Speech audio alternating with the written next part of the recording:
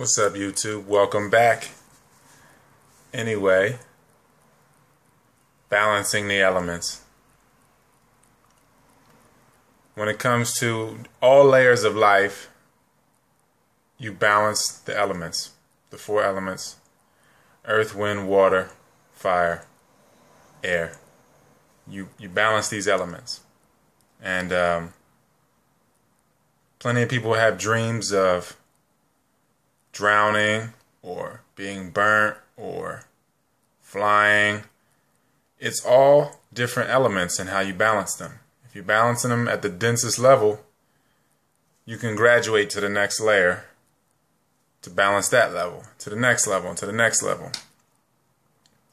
So, the quickest way to balance the body to let it regulate itself is to fast, of course. That's the quickest way to get back to balance. And um, once you've mastered each layer, you will you will fly in all layers. Literally, metaphorically, however you want to look at it, but you will be in control of of your path. You will create it before you even take the step down onto it. So it just comes down to balancing the elements. More earth requires more water fire and air. It's just like if you look at the, what they call the chakra system.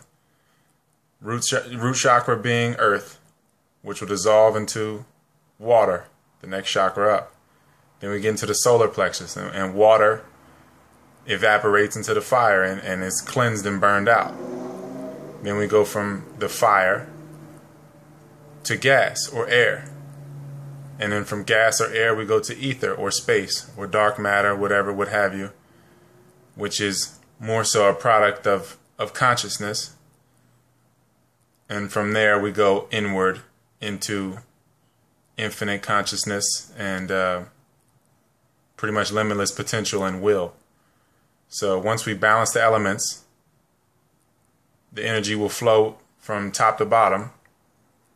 Again, every energy center is needed. Earth is what roots us here. And you don't have to stay here if you don't want to, but you're going to have to earn your pass to leave, like I said in a couple videos ago. And when it comes to balance, that's it's going to manifest itself in all ways. Manifest itself in all ways, like imbalance in fire might have too much aggression in your life, and it will show itself in your dreams and other in other forms too, not just literal fire. Might be a person that you know who was a who was a mean person to you or aggressive with you, and that person is in your dream for some reason. You have, might not have seen them in a decade or decades. It doesn't matter. Time is really not the issue here, but their that facet of their persona or emotion, that fire that they were releasing, or if they're too watery, too introverted, you see a person that's dejected in your dream they are really reflections of pieces of you, what's inside of you. And if a person's running rampant in your dream that has embodied that fire or whatever, that's just a part of you that's running rampant inside of you. So if we balance the elements, we can graduate to the next layer, balance the elements there, and we can truly fly.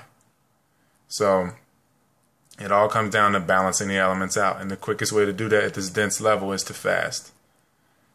And people ask me about fasting or dry fasting, or, and it's it's really simple. If during your sleep state, your body is regulating its pH and, and balancing as much as it possibly can from what you put inside of it. And uh, some people would say drink a lot of moisture before, you know, drink water before you uh, you sleep, or just an hour before you sleep or so, so that that water can counter the earth element to where you don't wake up thirsty the next day so that you can properly you have the will to dry fast. If you take on a bunch of earth element and go to sleep and then wake up expecting a dry fast it's going to be unpleasant. Because then you're going to have to pull more moisture from the air to counter that earth. And that's that process if you're going into it ignorant it's not going to be a pleasant one. So really fasting is the key to getting to that that balance. It's the quickest way, at least, because people have emotional issues and then they stuff those problems with physical foods that carry their own balance or elemental uh, makeup. So, you know, you might be taking on too much fiery foods or too much too much earth, too many root foods, uh, potatoes or things like that. Whatever you know, that's root root chakra that keeps you more grounded. So, you know, somebody might be too watery, taking on too many fluids, creating too many fluids from eating things that might produce lymph, things of that nature. So, it's all about balance, and we graduate from level to level. And uh, I think that's a pretty solid video. But you tell me.